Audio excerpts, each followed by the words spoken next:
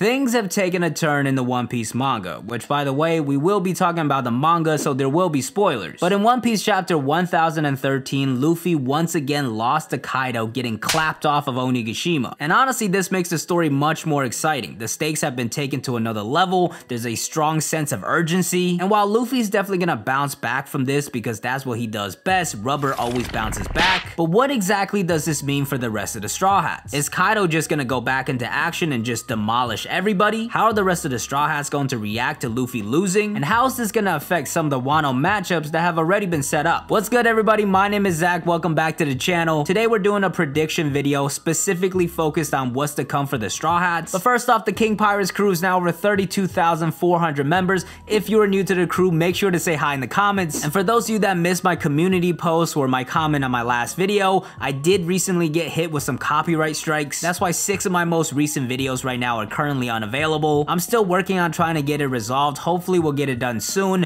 But in the meantime, it does look like YouTube is suppressing my video impressions. So if you're not yet part of the crew, make sure to subscribe and hit the bell as well so you don't miss an upload. But let's get into this video. Of course, last chapter, we get this wake up call where Luffy loses once again to Kaido despite improving his armament haki, learning how to coat his attacks with Conqueror's haki. None of it matters and he just loses to Kaido once again. But honestly, this was kind of expected because Oda usually likes to have Luffy lose once to the villain to kind of hype up the villain. Usually Luffy just loses once before losing, but sometimes like the case with Crocodile, he loses twice just to really hammer home how strong the villain is. So honestly, I'm really excited for what's next. This really hypes up Kaido as a villain, and with Luffy now out of the picture, Kaido's definitely gonna get some of that spotlight. And that's really the first question I have is what exactly is Oda gonna have Kaido do next? Because realistically, Kaido could go back into action and just tear through through everybody. Based off of Kaido's dialogue in the last chapter where he's talking about the missed opportunity of getting Luffy's head, because now the Alliance will still have that belief within Luffy and not give up, I think based off of that, at the very least, we'll see Kaido go back down and announce to the Alliance that he's defeated Luffy. He might not actually jump into action and just wipe everybody out, but he's gonna deliver that blow to their morale. Like most likely, he'll probably head down to the live performance floor and Sanji and Zoro will find out that Luffy is lost, which will be a pretty big moment for them after they just showcased so much confidence in Luffy a couple chapters ago. But they're not gonna be the only ones that find out about this because there are those Marys. With the Marys, Kaido can transmit his message throughout Onigashima, so pretty much the whole alliance is gonna find out Luffy lost. And honestly, I think next chapter is when this tide is really gonna start turning. So far, things have been pretty good for the alliance. It's really the best they could have hoped for. A lot of the members of the alliance are getting a lot of shine as well. But I think with the defeat of Luffy, now's the time where the Beast Pirates will really really start stepping up. So all the people that's been bagging on King and sleeping on King, I think are going to be proven wrong.